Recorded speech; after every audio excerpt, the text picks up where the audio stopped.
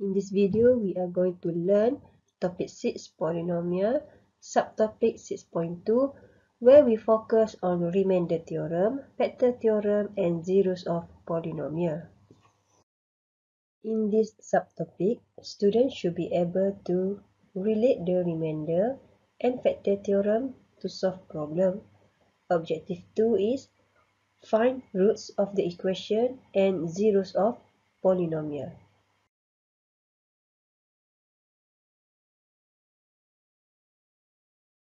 Remainder theorem. What is remainder theorem?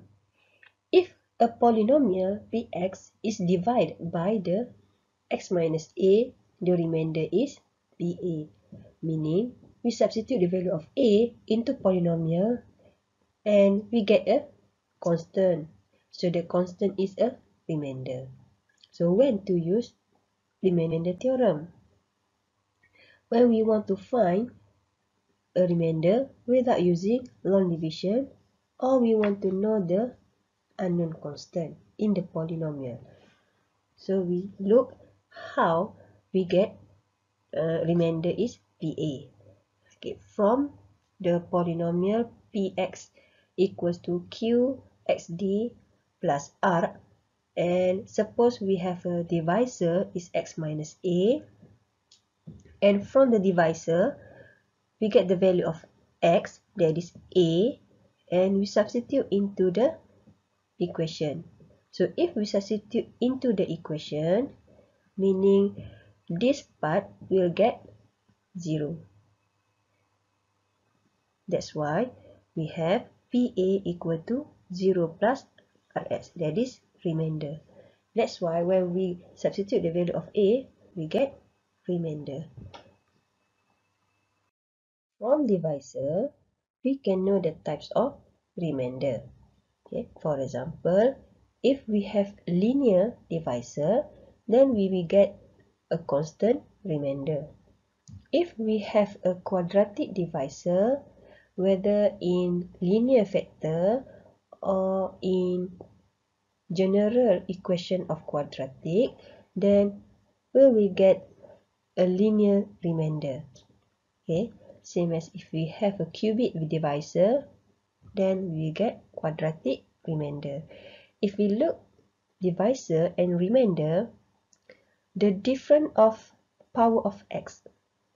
Okay.